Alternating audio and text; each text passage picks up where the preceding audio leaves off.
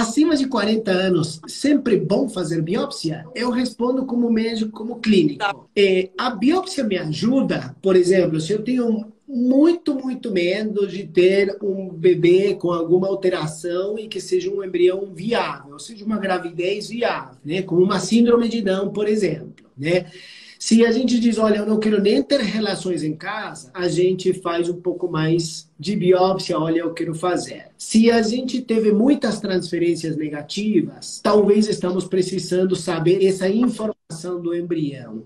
Mas se a gente vai dar só aquela pequena ajuda que está precisando, porque o sêmen não chegou no, no, ovário, pelas trompas, pela qualidade do sêmen, uma paciente de 40, 41 anos, ela não tem obrigação de fazer a biópsia, enquanto ela saiba que podemos ter alguns embriãozinhos que ter um pouco de risco, que não é tão alto, e também saber que podemos ter alguns embriãozinhos que não vão implantar. Então, sabendo todos esses riscos e probabilidades, acho que é válido decidir para cada um. É uma questão, não é obrigação, não é que todo mundo tem que fazer. E o que você acha, desde o ponto de vista técnico? Eu acho que eu vou ter que falar sobre mosaicismo, não vai ter como, eu vou falar muito rápido. O que acontece? Vou pensar como paciente. Então, eu vou fazer uma fertilização in vitro, eu já tenho 40 anos, eu tenho a possibilidade de fazer uma biópsia embrionária que vai me mostrar se o meu embrião vai implantar ou não, se ele tem chance de implantar ou não, e se ele tem alguma síndrome compatível com a vida ou não. Ideal. Ou avaliar só esse lado, eu não vejo por que não fazer.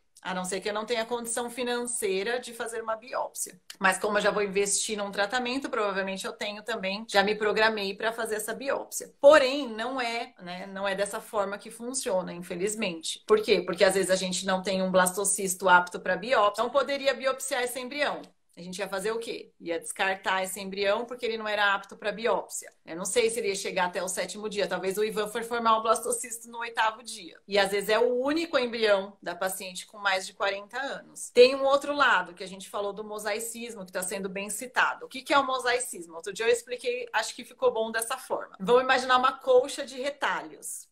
São as células do blastocisto que estão forrando a cavidade. Às vezes eu tenho uma colcha de retalhos que todos os retalhos são iguais. Às vezes eu tenho uma colcha de retalhos que os meus retalhos são diferentes, tem diferentes cores o meu retalho. E aí eu vou tirar uma foto dessa colcha para mostrar para alguém se ela gostou dessa colcha, se a colcha está ok. Essa foto pode pegar só uma parte dos retalhos vermelhos e a pessoa achar que eu estou com uma colcha de retalhos vermelhos e ela não gosta da colcha de retalhos. Eu posso mandar uma parte da foto dos retalhos azuis e a pessoa fala que o azul ok, que o azul está correto. E eu posso mostrar uma foto onde tem os azuis e os vermelhos. Então, o que, que acontece nos embriões humanos? Os embriões humanos, eles, eles não têm um padrão de células que seguem todas as células, todos os retalhos ou todas as células são iguais. Existe um alto índice de células que se diferem uma da outra. Uhum. Então, quando a gente vai fazer a biópsia, a gente pega uma amostra dessas células. E não necessariamente essas células me mostram o retalho, a maioria do meu retalho. Às vezes mostra ali só uma parte do meu retalho que não está né, mostrando o embrião como um todo. Então, às vezes eu posso ter um diagnóstico do embrião que pode não ser o real diagnóstico daquela massa que vai formar o embrião propriamente dito. Então, existe essa, essa chance. Então, para a paciente, ela tem que avaliar se ela estava, como o doutor Júlio falou, se é uma paciente que estava tentando engravidar engravidar em casa e que foi procurar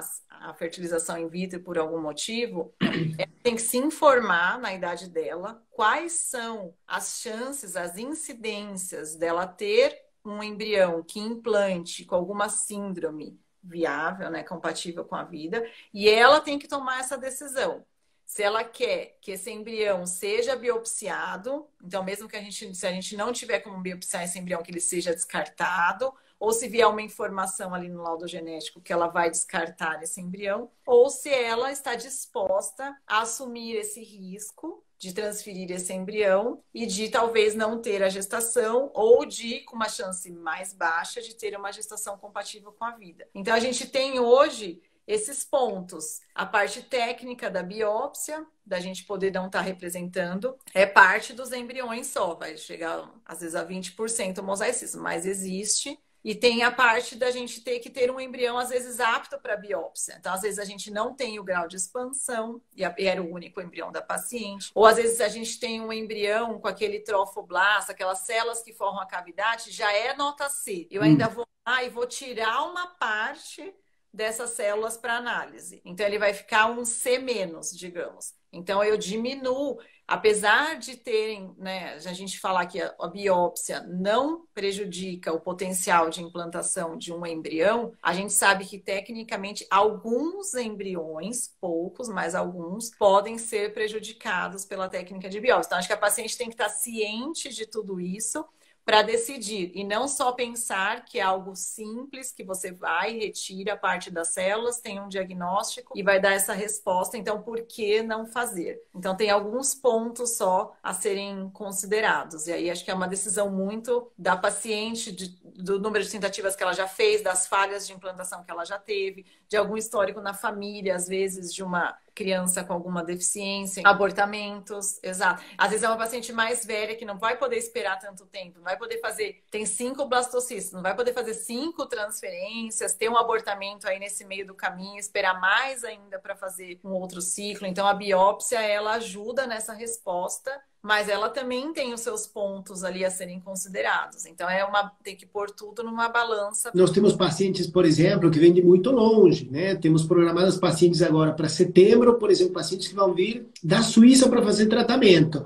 Essa paciente, se ela me dá quatro blastocistos, né? Se a gente sabe qual é, paciente de 43 anos, sabe qual é o embrião bom, ela já teve um filho, já teve uma filha, fez faz dois anos, e se a gente sabe esse, qual é o embrião bom bom, quando ela vem para fazer a transferência, já transfere com uma taxa, com uma probabilidade maior, e ela não pode estar vindo e ficando três meses aqui para fazer três transferências, talvez.